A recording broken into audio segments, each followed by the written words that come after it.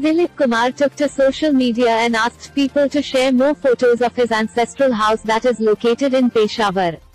The veteran actor wrote, Thank you for sharing this. Requesting all in hash Peshawar to share photos of my ancestral house if you've clicked the pic and tag hash Dilip Kumar.